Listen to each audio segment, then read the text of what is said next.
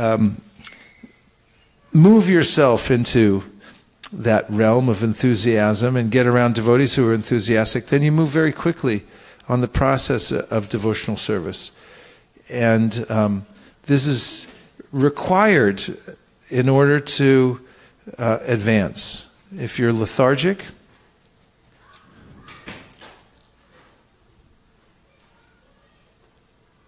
then uh, you will forget. And now we have our five minute Bhagavad Gita class given by uh, His Grace Srivatsa Prabhu.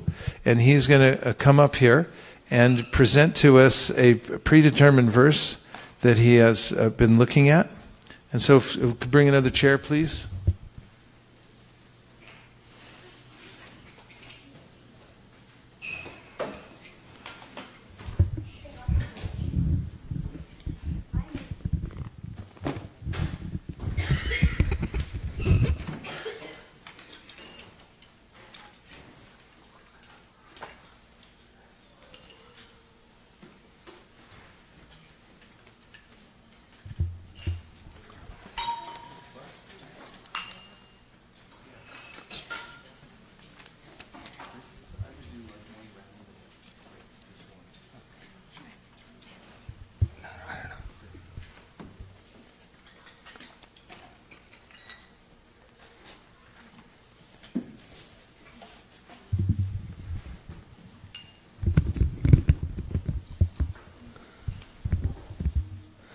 जय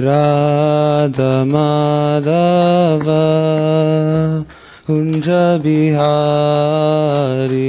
जय राधमाधव कुञ्ज बिहारी गोपीजनवल्लभ गिरिवरदारी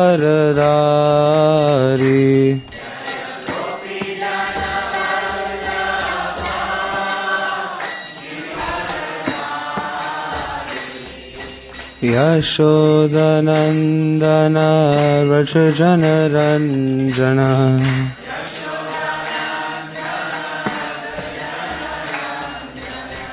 यशोदनन्दन व्रजनरञ्जन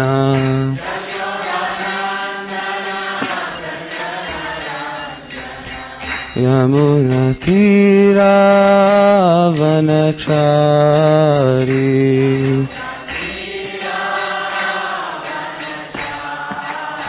यमुनतीरावनचारी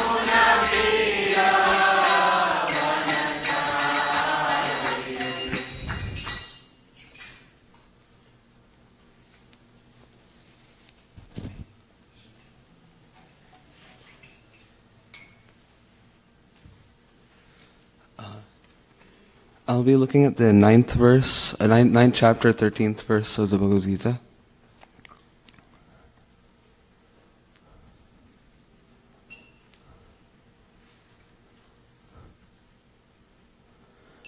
महात्मानस्तु मां Partha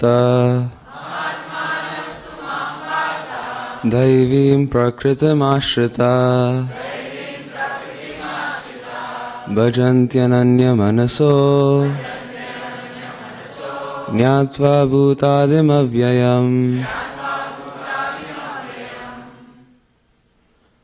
O son of Pritha, those who are not deluded, the great souls, are under the protection of the divine nature. They are fully engaged in devotional service because they know me as the Supreme Personality of Godhead, original and inexhaustible. In this verse, the description of the Mahatma is clearly given. The first sign of the Mahatma is that he is already situated in the divine nature. He is not under the control of the material nature. And how is this affected? That is explained in the seventh chapter.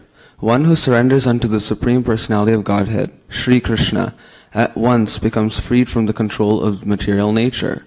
That is the qualification.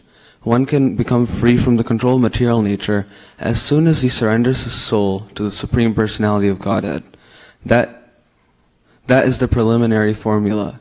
Be, being marginal potency, as soon as the living entity is freed from the control of material nature, he is put under the guidance of the spiritual nature.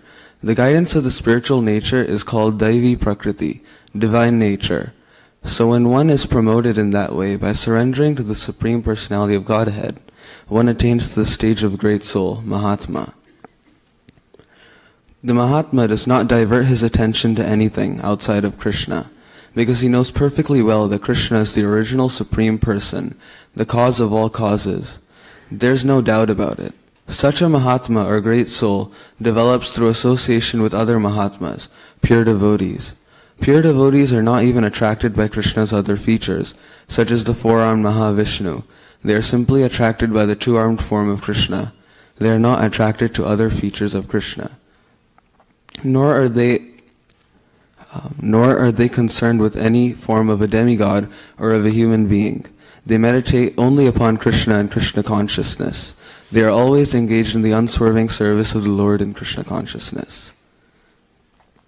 So in, in this shloka, Prabhupada describes the meaning of Mahatma. Usually in society we see today that uh, there's a Mahatma Gandhi and so- society gives the name of Mahatma to someone who's, um, who's done a great social deed. But in the Bhagavad Gita, Krishna states that a Mahatma is someone who is under the control of his Daivi Prakriti or divine nature. Uh, the divine nature is uh, basically the internal potency of the Lord, or in other words, Srimati Radharani, and uh, we as jivas are the marginal potency of the Lord. The marginal potency of the Lord, uh, Prabhupada describes it with an analogy of um, the ocean, the beach. There's the part of that one part of the beach that's sometimes covered by the ocean water and sometimes not covered, and that's where we are in the whole picture. Then there's the external potency of the Lord, which is the material nature we right now are under the control of the material nature, which is the three modes of material nature goodness, passion, and ignorance. And um, the person behind the three modes of material nature is Durga Devi or Maya Devi. This Maya is known as Mahamaya, and uh, that's why this world is known as Durgam. Durgam means prison, uh, prison house. So what Durga Devi does is she holds a trident, and she um, she attacks people with her trident. The trident has uh, three um, three sharp ends on it, and the three sharp ends stand for each of the three types of miseries. The three types being Adhyatmika, Adibhautika, and Adidaivika. Adhyatmika is um, miseries caused by the mind, and Adibhautika is miseries caused by other living entities, and Adidaivika is miseries caused by the devatas through natural calamities such as earthquakes, tsunamis, etc. So basically, this material nature is very strong, which is shown um, by which Krishna states in the shloka, uh, Daivi Hesha Mama Maya Duratyaya um, Mam Evaye Prapadyante Mayam Etam Tarantite, which basically states that the material nature is very, very hard to overcome. But simply by surrendering unto Krishna, it's, everything becomes easy and one can easily cross over the material nature. Uh, Prabhupada also states that in the um, in the purport when he refers to the seventh uh, uh, verse in the seventh chapter. Um, Prabhupada also states that um, another characteristic of a Mahatma is that um, he always thinks of Krishna. Everything he does is directed towards Krishna, and that Mahatmas can only be developed through the association of other Mahatmas, which shows how lucky we are that Prabhupada came to the U.S. and started the ISKCON movement because now whenever we go anywhere, there's always a temple that we could go to. And at the temple, there's always great devotees that we can associate with. And simply through their association, we can make huge milestones. So the three, the external potency, the marginal potency, and the internal potency are all controlled by the Lord. This is um, stated by Prabhupada in the um, in Chaitanya Charitamrita, in one of his purports, he, he quotes from the Shvetashvatara Upanishad, and he states that basically um, the Yogamaya and Mahamaya are both under the jurisdiction of the Lord. And Prabhupada goes more into depth with that with another analogy that um, just as electricity can be able to uh, cause something to cool down through like an AC, or cause something to heat up through a heater, uh, Krishna also, just by himself, he can be able to control Yogamaya and Mahamaya as well. And everything is ultimately under his control. Mahamaya though, um, Mahamaya though is um, comes into effect when we try to put um, our own effort into make, trying to find some sort of happiness in this material world, which simply isn't possible. That's uh, that topic is covered by Radhe Shyam Prabhu in one of his lectures, in which he states that there are two types of people in this world. One type, uh, when Maya Devi pokes them with her stick, uh, they turn around and they go to Krishna and they, they surrender unto Krishna, saying, Krishna, I'm all yours now. And um, Krishna, I'm all yours now, and please let me be yours. And just like that, they're able to cross over the over the jurisdictions of material nature, and they're able to become Mahatmas because they enter under, under the control of the divine nature or Daivi Prakriti. But then there's the other type of people who turn around and wage a war against Maya. And basically, what that means is that they're trying to find some sort of happiness in this world, which is simply impossible. So, all we have to do is do everything that Krishna wants us to do by surrendering unto Him. And that is luckily given to us by Chaitanya Mahaprabhu, and we could participate in a Sankirtan movement. And by participating in a Sankirtan movement, we could we could please Chaitanya Mahaprabhu and we could transcend the three modes of material nature and therefore enter under the control of Daivi Prakriti and be liberated. Hare Krishna.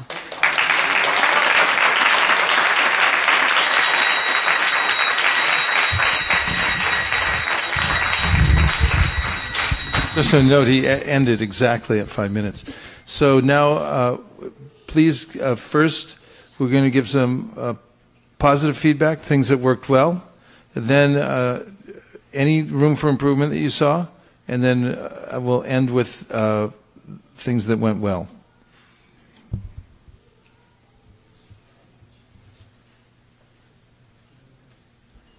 I, I could see that he was well prepared that made the whole uh, lecture very good. Yeah, well prepared and also wasn't overly dependent on notes. He, the preparation showed because it, it, it came out from uh, a deeper level than, than simply memorization. It was well thought out. I really liked how his philosophy was so rich and very authentic. Like he could refer to the shlokas and Prabhupada's examples and explain it with conviction. So that uh, showed that he has heard and listened a lot of lectures, and that was more convincing, following the parampara. Very parampara, yeah. I liked how he knew so many verses uh, with the same meaning. Yes, they all inter- interlocked. Now, uh, please give uh, room for improvement.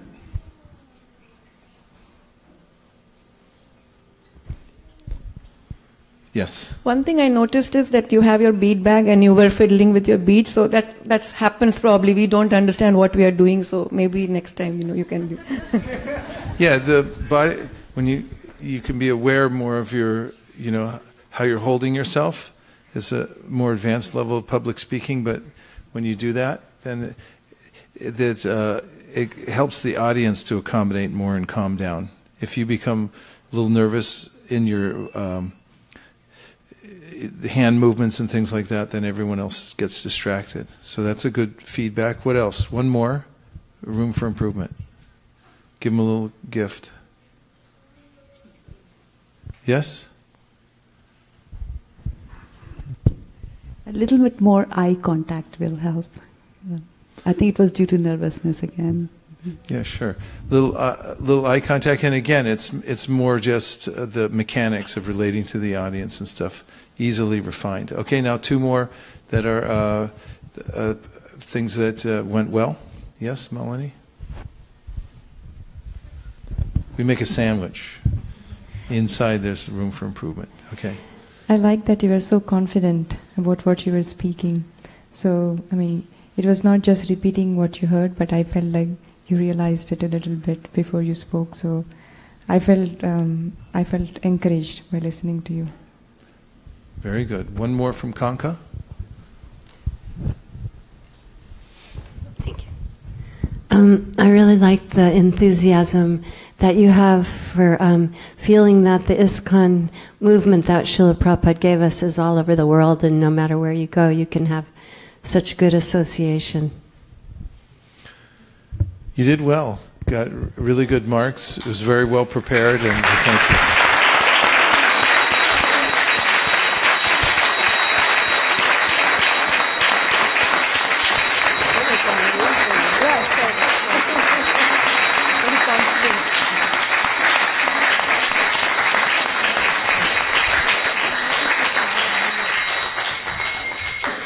So you'll have to keep doing it.